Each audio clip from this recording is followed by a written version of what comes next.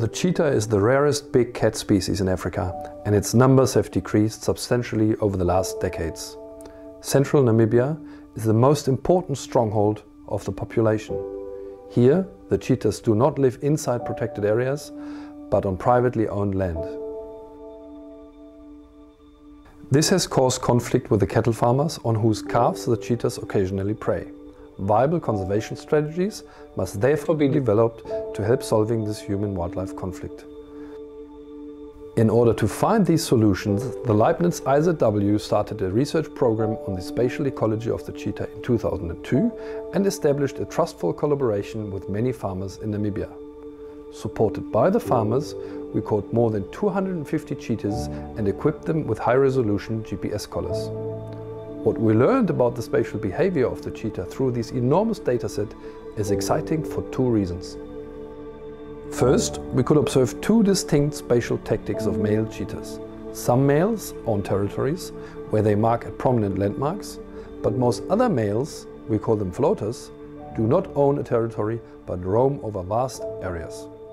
Second, the territories are not contiguous, but spread evenly across the landscape with a lot of open space between them. Floaters visit these core areas of the territories frequently to check for vacancies. At the same time, the females visit the same areas in search of mating partners. This means the core areas of the territories function as communication hubs for the local cheetah population, resulting in hotspots of cheetah activity. This results in high local depredation risks within the hotspots and in low risks in the other areas. Based on these findings, we designed an experiment together with the farmers, where they kept breeding herds inside the communication hubs. We moved them to areas with much less cheetah activity.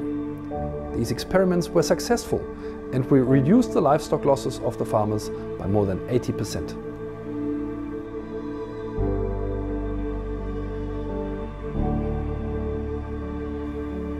This project proves that the future of the cheetahs does not lie in the hand of scientists and conservationists alone, but it depends on all stakeholders working together on viable solutions.